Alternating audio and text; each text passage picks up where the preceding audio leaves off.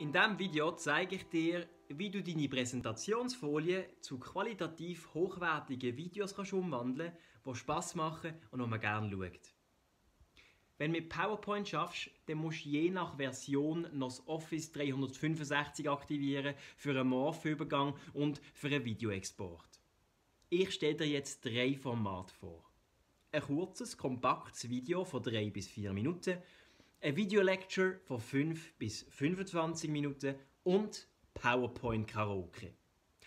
Bei der Videolecture präsentierst du Folien so, wie sie sonst auch präsentieren Es ist also ganz nah an dem, was du sonst auch machst. Beim Erklärungsvideo brauchst du einen knappen und einen knackigen Text.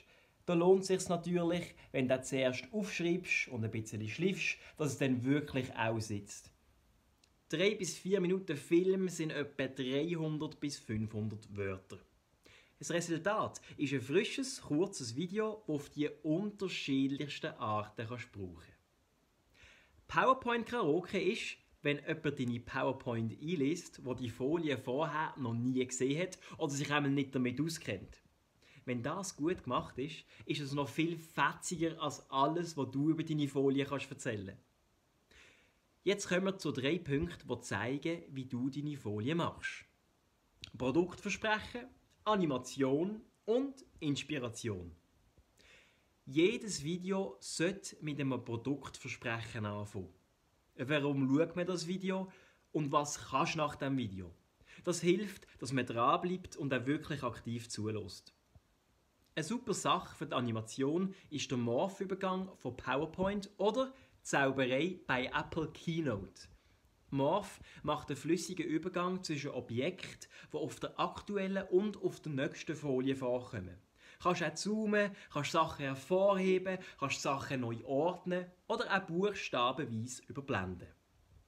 Inspiration findest du bei YouTube-Kanälen wie Simple Club oder Merkhilfe. Die meisten Videos auf diesen Kanälen sind Folieanimationen. Dort siehst du, wie man Videos macht, die nicht aussehen wie PowerPoint, aber eigentlich PowerPoint sind. Und jetzt stelle ich dir noch drei Arten vor, wie du den Ton kannst aufnehmen kannst. Am einfachsten ist es, wenn du im Folienprogramm auf Präsentation aufzeichnen klickst. Dann kannst du nämlich durch deine Präsentation durchklicken und dabei reden. Alles wird aufgenommen und zack, kannst du es als Film exportieren. Wenn den Ton separat aufnimmst, dann ist es ein bisschen entspannter und du kannst es von Profis aufnehmen. Dann musst du halt die Tonspur im Schnittprogramm zusammenschneiden, aber das ist nicht wirklich schwer.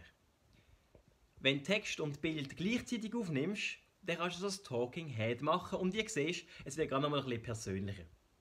Also, mach tolle Videos, hol dir nette und kompetente Leute dazu, die dir helfen, deine Message auf eine gute Art und Weise zu präsentieren.